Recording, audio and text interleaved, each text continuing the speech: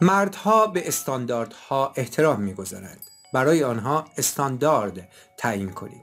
سلام. مرسی از اینکه بیننده کانال خودتون کتاب من هستید. امروز از کتاب مثل یک مرد فکر کن مثل یک زن عمل کن از استیو هاروی همیشه خندان. می‌خوایم این مطلب رو با هم دیگه بخونیم و بشنویم. خیلی مطلب جالبیه. لطف کنید ما رو subscribe کنید. حتما اون زنگوله کنارش هم بزنید تا ویدیوهای بعدی براتون بیاد و ببینید. و امیدواریم که دوستشون داشته باشید. ما رو به دوستان کتاب خودتون معرفی بکنید. و اگر پیشنهادی هست حتما توی کامنت ها برامون بنویسید که خیلی بهمون کمک می‌کنه.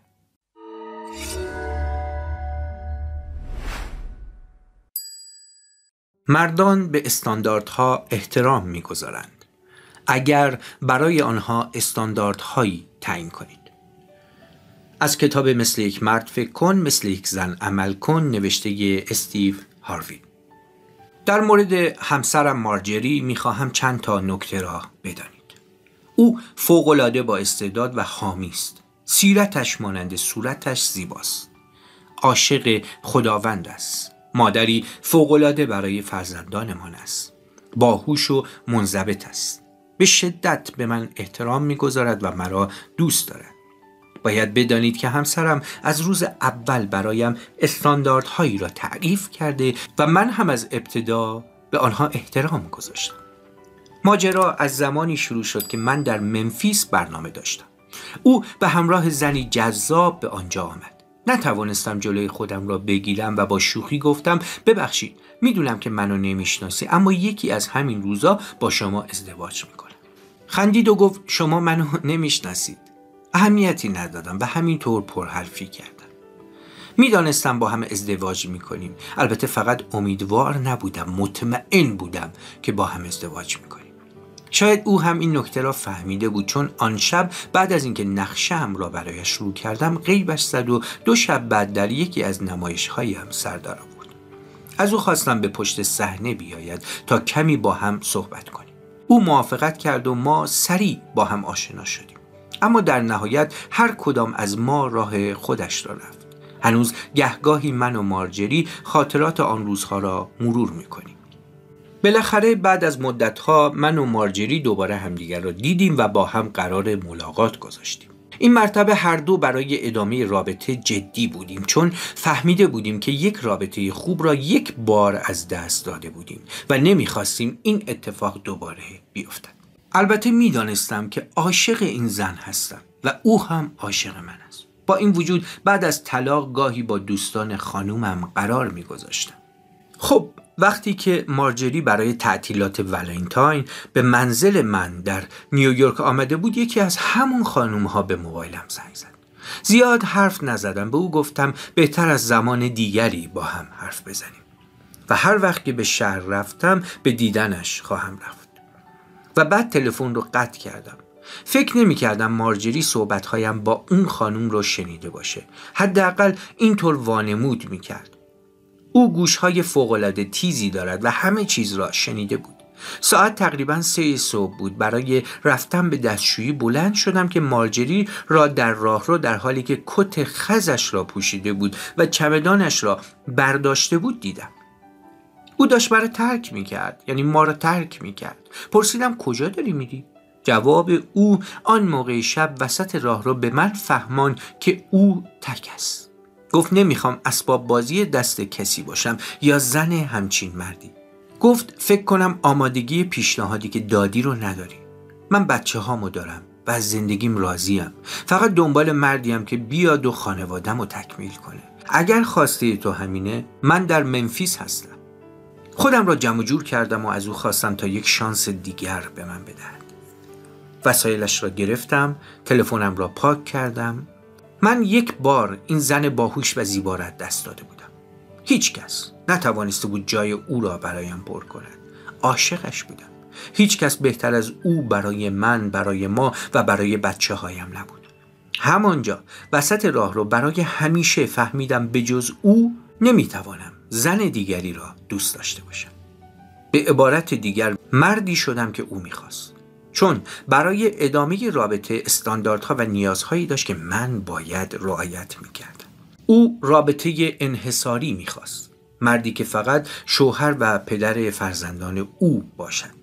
او هم می‌دانست که این مرد می‌تواند مردی وفادار و عاشق خداوند باشد و تمام تلاشش را برای حفظ خانوادهش بکند. او به من فهماند که انتظار دارد مانند یک خانوم با او رفتار شود. در ماشین را برایش باز کنم برای نشستن پشت میز صندلی را برایش عقب بکشم حواسم به مناسبت هایی مثل سالگرد ازدواج روز مادر و تولدها باشد و کمتر چرت و پرت بگویم. این خواسته ها برای او بسیار مهم بود چون نشان می‌داد که دلش می‌خواهد چطور با او رفتار شود. برای من هم مهم بود چون به من نقشه راه را نشان می‌داد.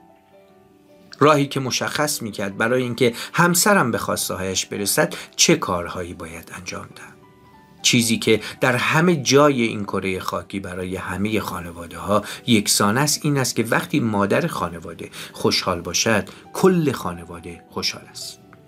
تنها هدف من در زندگی این است که مطمئن باشم مارجری خوشحال است.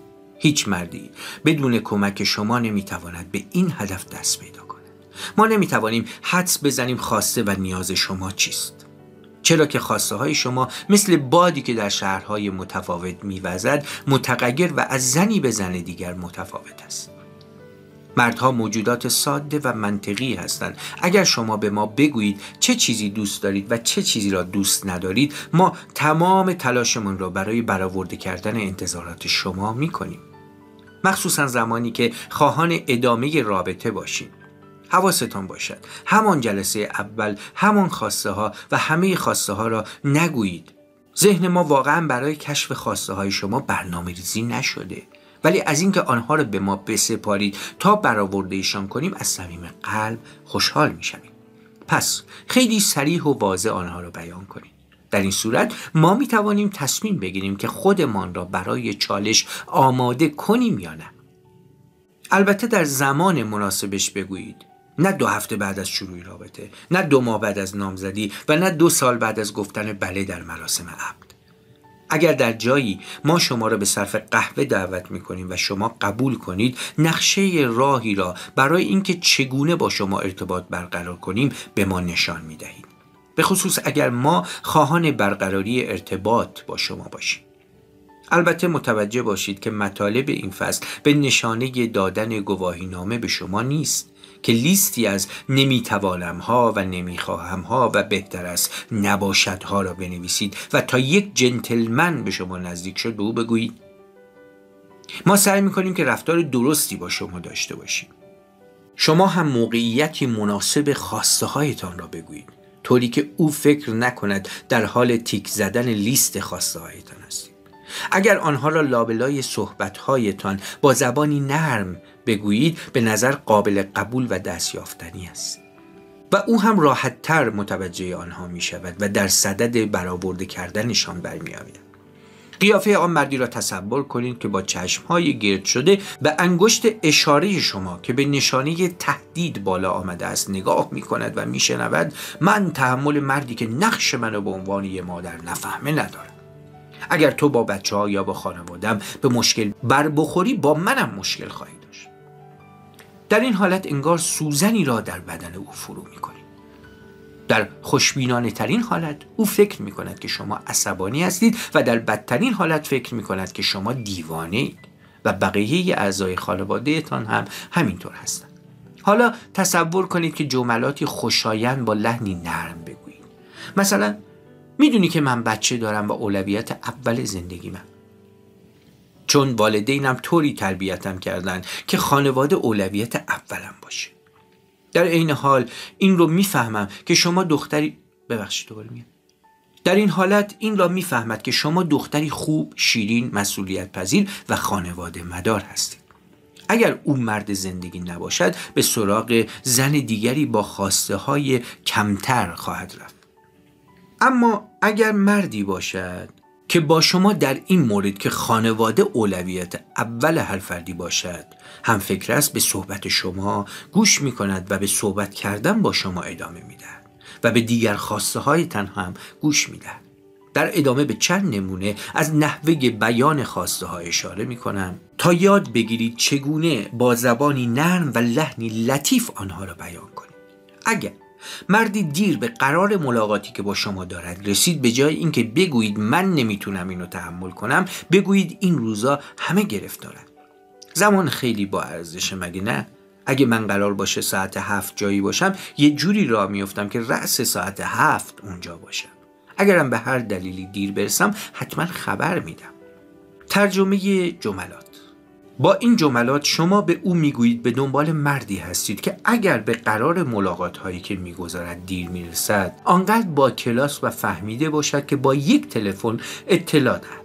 و حالا او می‌فهمد برای اینکه دیر نرسد باید زودتر را بیفتد و تلفنش هم شارژ داشته باشد تا در صورت لزوم بتواند زنگ بزند. به جای اینکه بگویید اگر با زن دیگه ای رابطه داشته باشی فرقی نمی‌کنه در چه سطحی. پشت گوش تو دیدی منم دیدی. به جای این بگویید من همیشه در ارتباط هم صادقم. و اگر بخواهم هم زمانی با او یا با فرد یا افراد دیگری هم در ارتباط باشم حتما او را از ابتدا در جریان قرار خواهم داد. تا خودش تصمیم بگیرد که می‌خواهد این نوع رابطه را ادامه دهد یا به دنبال یک رابطه انحصاری است. ترجمه جملات بالا. شما به او گفتید که به دنبال مردی وفادار و صادق هستید. کسی که به پارامترها و استانداردهای رابطه ارزش قائل باشد. اگر قصد او بازی دادن شماست می‌فهمد که شما برای حل این موضوع می توانید تصمیمی هوشمندانه و منطقی بگیرید. همچنین به او گفته اید که برای رابطه ادامه اجباری نیست و هر زمان که لازم باشد هر دو می توانید در این مورد با هم بحث و گفتگو داشته باشید. یا به جای اینکه بگویید دلم نمی‌خواهد حتی یک کلمه از مردی که اعتقاد به خدا و مسیح نداره بشنوم بهتر است بگویید یک شنبه روز مورد علاقه منه. چون می‌تونم برم کلیسا و همراه همکیشانم با پرستش خدا و تمرین باورهای دینی ایمانم رو تقویت کنم. بعد از این تمرین ها احساس خوبی دارم و هفته به خوبی سپری می شود. ترجمه جملات بالا. به این ترتیب شما به او فهمانده اید که زنی خدا ترس و معتقد هستید که ایمانش برایش مهم است و موقعیتی را فراهم می کنید تا او هم در مورد مذهب و معنویاتش صحبت کند. یا مثلا به جای اینکه بگویید من سه تا بچه دارم. و دو جا کار می‌کنم چون پدر بچه هم به لعنت خدا هم نمیارزید. پس بهتر مردی که نزدیک من میشه حساب بانکی پروپیمونی داشته باشه تا بتونه بچه هامو تأمین کنه وگرنه بهتر بره به درک. بهتر است بگویید مادر خوب بودن برای من خیلی مهمه و این مستلزم اینه که بچه ها پدر خوبی داشته باشن. من فرد مستقلی هستم ولی چقدر خوب میشه اگه مردی خوب و حساس پیش من و خانوادم باشه. ترجمه جملات بالا میشه. در این صورت او رو متوجه کردید که به تنهایی قادر به تأمین فرزندانتان هستید و می‌دانید که کنار مردی خوب بودن چقدر با ارزش است. چیزی که یک مرد می‌خواهد این است که برای همسر خوب و پدر خوب بودن از او قدردانی شود. این مورد در مورد همه مردان مشترک است. فقط کمی قدردانی با این کار شما اطلاعات ارزشمندی در مورد زنی که دوستش داریم به ما می‌دهید. اما چیزی که مهمتر است این است که با زبانی نرم و لطیف استانداردهای خودتان را بیان کنید. این مدل گفتگو برایمان طعم انگورهای شیرین را دارد. حکم دارو دارد و تسکین دهنده است. مثل قهوه که هرچه بیشتر می نوشیم خوشتمتر می شود. بهتر است این نکته را هم اضافه کنم. درست است مردان زنانی را که از ابتدا واضح و شفاف می‌گویند چه می‌خواهند را دوست دارند و به آنها احترام می‌گذارند. اما زنان هم باید هر از گاهی عقب بیستند و اجازه دهند مرد ماهیت اصلیش را نشان دهد و ثابت کند که برای زمان شما ارزش قائل است. به نظرم بزرگترین اشتباهی که زنان مرتکبش می‌شوند این است که همان اول رابطه تمام چیزهایی را که می‌خواهند با جزئیات کامل به مرد می‌گویند بدون اینکه به او اجازه دهند میل باطنیش را نشان دهد که آیا اصلا دلش می‌خواهد قدمی برای شما بردارد منظورم این است که همه شما پیاده روی کنار ساحل، شکلات ولنتاین و سفرهای تفریحی تابستانه را دوست دارید. اما چطور می‌فهمید که یک مرد چقدر خلاق است و برای خوشحال کردن شما هیجان دارد؟ وقتی که شما تمام جزئیاتی که لبخند به لبتان میآورد را به او گفتید و به او اجازه ندادید حتی برای فهمیدن یکی از آنها خودش تلاش کند مطمئن باشید اگر به او بگویید که از گرفتن گل قرمز در محل کار صرف شام در رستورانی به خصوص کیف مدل شنل برای هدیه روز تولد خوشتان میآید؟ مطمئن باشید که همه را مو به مو انجام می‌دهد ولی فقط همینها نه کمتر و نه بیشتر از آن. ممکن است اول خوشتان بیاید اما بعد از گذشتن 45 روز حالا کمی بیشتر یا کمتر او دیگر این کارها را انجام نمی‌دهد. چرا که فکر می کند که هرچه که می‌خواسته اید را انجام داده و دیگر خواسته ای جا نمانده. در این حالت است که شما فکر می کنید چون دیگر آن رفتارها را تکرار نمی کند پس عوض شده است. و به دوست خانم خود می گویید نمی‌دونم چی شده. قبلا برام هر کاری می‌کرد. او هر کاری را که شما دوست داشتید انجام می‌داد. چون شما به او می‌گفتید که چه دوست دارید. برویم سراغ فلسفه من. به جای اینکه به او بگویید چه چیزی دوست دارید بگویید چه چیزهایی را دوست ندارید. آن وقت خواهید دید که او برای فهمیدن علایق شما چطور تلاش می‌کند.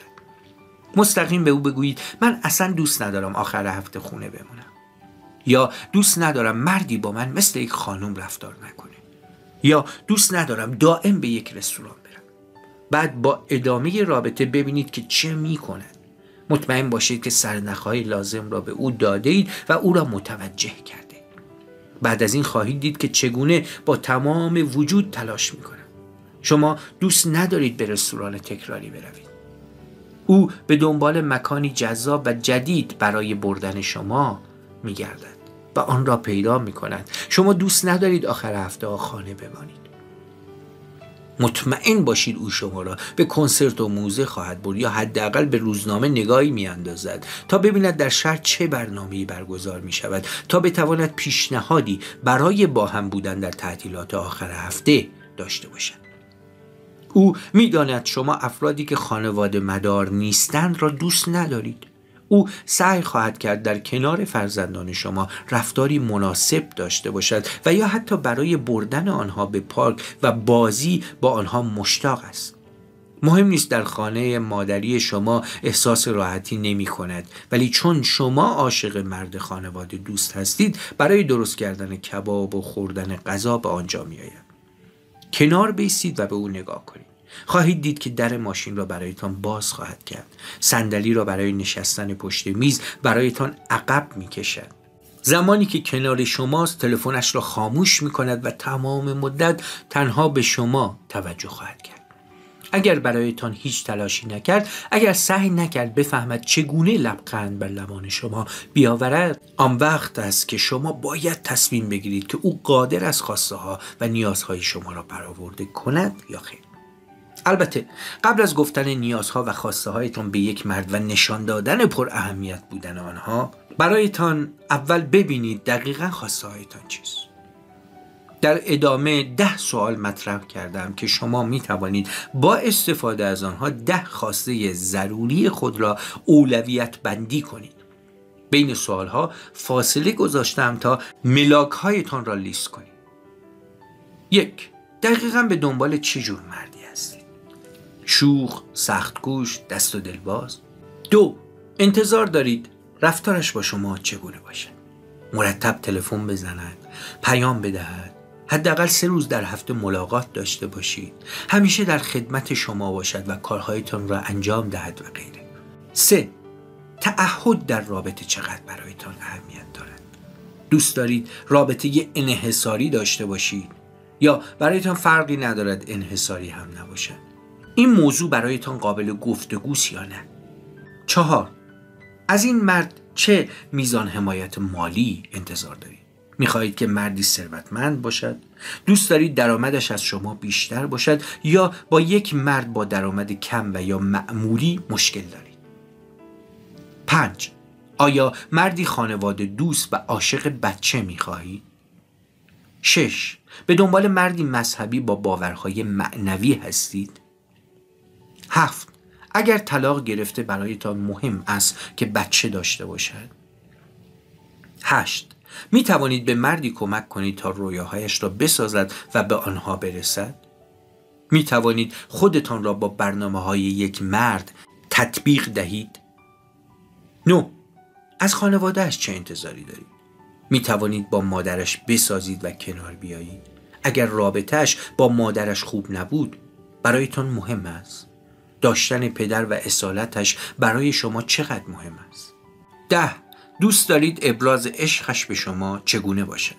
دوست دارید پیگیرتان باشد؟ یا هدایای گران قیمت برایتان بخرد و غیره؟ این ده سوال را از خود بپرسید و پاسخ آن را بدهید و بعد از دادن پاسخ خواهید فهمید که چه مردی را دوست دارید و خواسته شما از آن چیست. خب دوستان این بود بخش مردان به استانداردها احترام می‌گذارند برای آنها استاندارد تعیین کنید. از کتاب مثل یک مرد فکر کن مثل یک زن عمل کن نوشته استیو هاروی. متشکریم از اینکه ما رو تماشا کردید. لطف کنید ما رو subscribe کنید و اون زنگوله کنارش رو حتما بزنید تا ویدیوهای بعدی اون براتون بیاد و ببینید امیدواریم که دوستشون داشته باشید. ما رو به دوستان کتابخونتون معرفی بکنید. اگر پیشنهادی هم دارید حتما توی کامنت ها لطفا برامون بنویسید. سپاسگزاریم از اینکه بیننده کانال خودتون کتاب من هستید.